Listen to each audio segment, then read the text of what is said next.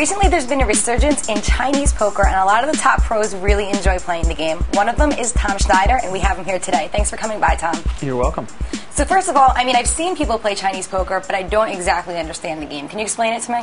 Sure. Uh, each player is dealt 13 cards, and a lot of times it's played four handed.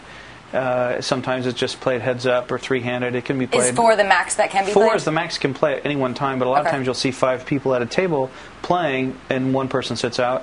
So you get 13 cards, and you Mm-hmm. They're have all to- down? They're all down, and you make f- two five-card hands and one three-card hand, making 13 cards. Your one five-card hand has to be the highest hand, then the, uh, which is called the backhand, and then the middle hand is your next highest hand, and your your three-card hand is your lowest hand. Now you don't always have to play if you have a let's say uh, aces full, and that would be your very highest hand. You don't have to play it. It's just that your backhand has to be higher than your middle hand, and your middle Okay. hand has to be higher than your front hand. And then you compare. Once you set your hand, you wait for You wait for everybody, to set their you wait up? for everybody to set, set their hand, and then you compare your top hand against their top hand, your middle hand against their middle hand, and your backhand against their backhand. And each hand, you win a point. If I beat you on the top, I get one point. If I beat you in the middle, I get another point. And if you beat me in the bottom, you get a point. That would be one point for you, but then I win the match, so I get an extra point. So that would be two points for me. And usually you play Chinese poker by the point. So a lot of times you play $100 or $200 a point. In the case where I beat you in the top and the middle, and you beat me in the back, you would owe me 200 if we were playing 100 a point, because I would have won two points, one for the match and one and three to and uh, two to one. So, do they settle up after each hand, or is it played for a long time? After each hand, you look, compare. I'll compare my hand with you, and I'll throw you 200. Or f- now, let's say that you you beat me all three ways. Mm-hmm. That's called a scoop, and you're going to win one point for the front, one point for the middle, one point for the back, and then one point for the match. so you get 400 point or 400 dollars. Wow. So then I would compare my hand with you, and I'd pay you your 400. Then I would compare my hand with him, and I would pay him whatever, or he would send Oh, so me it's an money. independent and then I wager against each player, Compare my hand against this guy's hand, and you would do, be doing the same thing with all the other three players as well. So, how long does it take to play out a hand? It sounds complicated. Uh, it depends. If you have experienced players, it doesn't take long to set hands. Uh, if you have a new guy, it can take a while because they're really not sure what they need to do. So, of course, if you're a reasonable person and also wanting to have a new guy in the game, you say, "Hey, take your time, and it's okay." But and that's because you want you want the new player in the game. So, how does strategy come into play? What's Chinese poker strategy? A strategy in Chinese poker is really about uh, setting your hand for the optimum percentage win value, is the way I would say it. Okay. Meaning, uh, if you have, you can set your hand to where you're going to win the back 100% of the time, or almost 100% of the time. But then you may only, uh, uh, you might uh, set your middle and your front hands. If if the, you do it that way, let's say you have a straight flush in a no royalty game. We'll talk about royalties later. But let's say you have a straight flush in a no royalty game, and then no pair, no pair.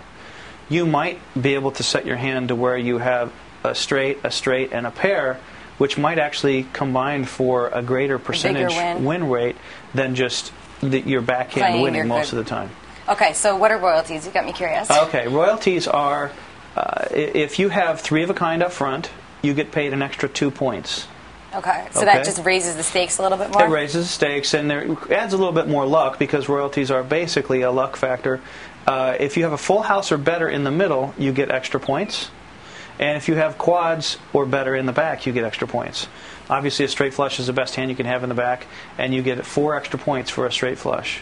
You get three extra points for quads in the back. So, how did you develop your Chinese poker game? Did you did your game evolve and you become better as you played? I have become better. I don't think I'm nearly one of the best players, though. I think there's uh, several other players, several other players that are better than me. well, how did you improve your game, though? I did. I went online and there's a uh, there's a, some software that you can buy and actually play Chinese poker on your on your computer. Okay. And so it tells you about optimal strategy and and uh, all that. Some people think that it maybe isn't perfect, but that's the great thing about Chinese poker is that.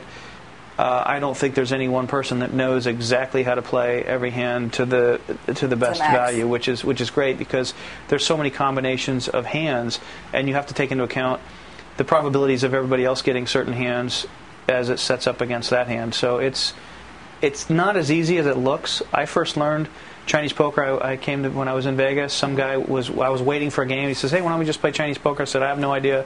He says, "Just watch us for a little while." And I go, "Oh, this is easy." You were sucked in. Yeah, this is easy, and of course I got killed. And it's not as easy as it looks. Are there any other variations? There are. There actually, uh, you can play deuce to seven in the middle.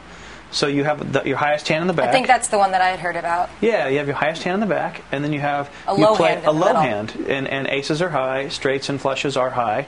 So deuce three, four, five, seven is the best low hand, and then you play then your second highest hand up top with the three card hand, and that you play that is almost always played with no royalties. I've played it once with royalties. Uh, but it's a little bit hard to play with royalties because of that particular setup. That's fun. I've also played uh, high in the back, deuce to seven in the middle, and Badugi on the three card hand up top, which is a game I haven't seen in casinos, but we've I've played it at home and we've messed around with certain things. Well, which casinos can you find Chinese poker in? Well, the Bellagio I think is now spreading it occasionally. Uh, there for a while they had a ban on it. They Oh, they wouldn't allow people to play Chinese poker, but I think that now they're under certain It's rules. getting much more popular. It is. I think they didn't like the fact that it would break up poker games sometimes. So, uh, and I know that the Palms had a Chinese poker tournament. really? One of the first ones that I'd heard of. Yeah. I think Planet Hollywood had one. Mizrachi had one in the Maybe it was. poker It, room. might, it was Palms or Planet Hollywood. I, the and I- Grinder definitely had one at I, Planet Hollywood. I believe so, and uh, I think really they just kind of break out in places where I don't know if there's one place to go play in Vegas Chinese poker. It's certainly a game I would play as a secondary thing. It's also a game that I play a lot when when uh, several players leave the table and it's just two or three of us sitting there. They go, "Let's just play Chinese." Till a few players come back. But I have had a lot of games in Phoenix. Uh, we play for lower stakes there, but it's a lot of fun. With uh, you know, it's, it's actually a very relaxing game, I think, and uh, so I enjoy it. well, I've heard a lot about pros having huge swings in Chinese poker. What's the reasoning behind that? Uh, I think it's really there's no folding, so if you run bad in Chinese poker and somebody's getting a lot of royalties, y- Your you are going to have there. you are going to have huge swings. I heard a hand. I was at uh, the Bellagio and Barry Greenstein was playing a hand, and I think he had a straight flush in the back, and quads in the middle, and two aces up top, which is unheard of hand. It's an Yeah. absolute monster. But I heard he was running really well and just killing the table. And you know, if you if you run that way, you can't fold, so you're just going to lose money. You can't do anything right in Chinese poker sometimes.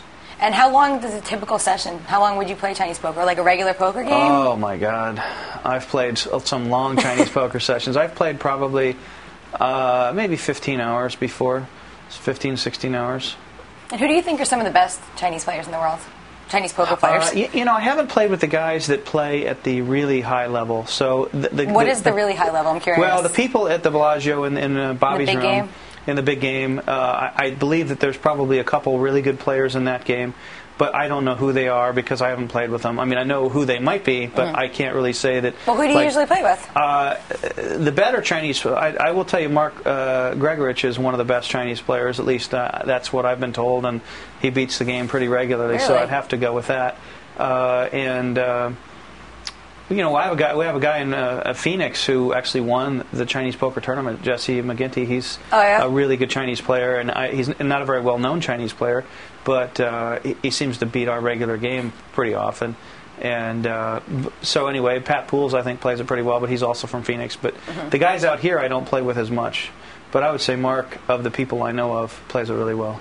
Well, what would you recommend to maybe a no limit player that wanted to start playing Chinese and didn't know very much about the game? What would be the best piece of advice you could give him before he jumped into it? I would go online, and uh, I think that his website is, is Smolens, S M O L E N S. Okay. Something to do with Smolens. If you see that, I would download the software and then pay for that and then practice so that you can. First of all, you don't want to have the pressure on yourself of trying to set a hand when everybody else is down and they're getting their hands down really fast. Um, it's it's a lot of pressure on you first of all Uh, because it's they're all waiting for you yes. and uh, second of all, you may not see all the opportunities that you would if you practiced a lot. Another another player who I think is pretty good is Jimmy Groves. Yeah. He plays at the Bellagio a lot too. He's he seems to uh, do really well in that game. He always wants to start a Chinese game because I think he thinks he's got a pretty big edge in the game, which he probably does. Great. Well, thank you for coming by today, Tom, and explaining all this stuff. My to me. pleasure. Lizzie Harrison with Tom Schneider for Card Players TV.